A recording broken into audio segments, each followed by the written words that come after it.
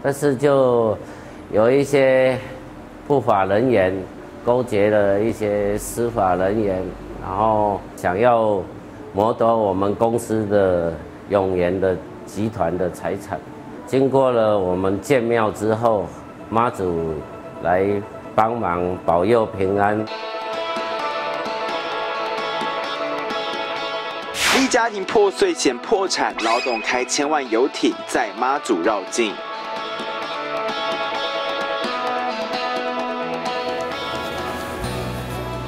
走，敲一个。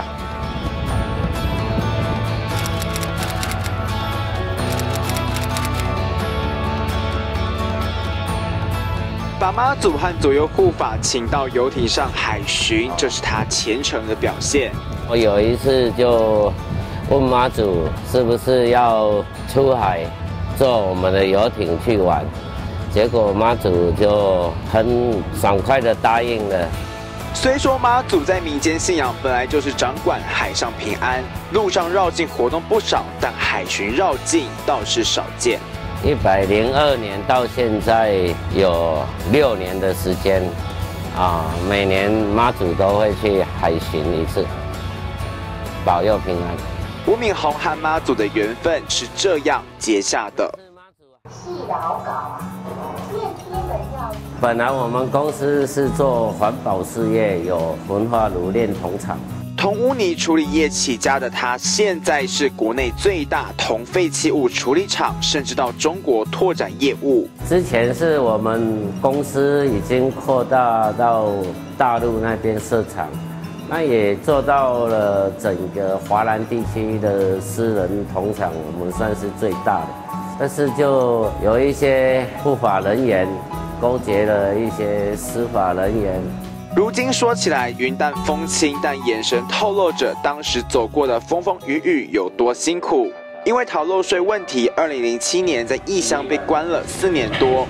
妻子以自己身体不好当做了理由，很少去探视。直到他二零一二回台湾，到家才发现自己戴了绿帽，带走我们家里的小孩，这呃想要谋夺我们公司的永源的。集团的财产，全部十四年，十五年过来，没有人欠钱啊。前妻外遇，还盗用他公司账款，吃喝玩乐，购买大量奢侈品，名车、珠宝、名表高达一点五亿。经过了我们建庙之后，妈祖来帮忙保佑平安。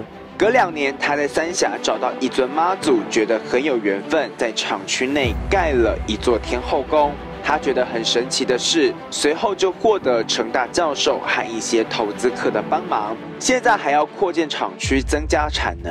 为了要警惕世人，然后妈祖也给我们启示，叫我们把这个故事直接就放在庙里面，让我们公司里面的人都知道我们是从困苦中走过来的。